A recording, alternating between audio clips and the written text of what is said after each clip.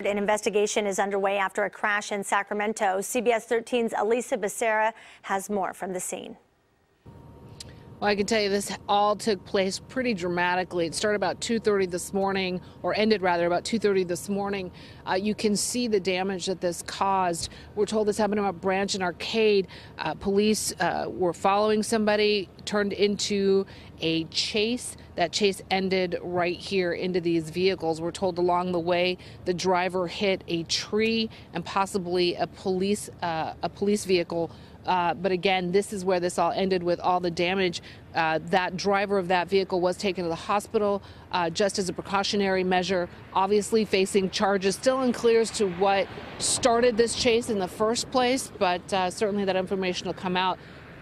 One of these drivers coming out seeing this this morning, uh, these car owners would not be very happy. Back to you. All right, Elisa.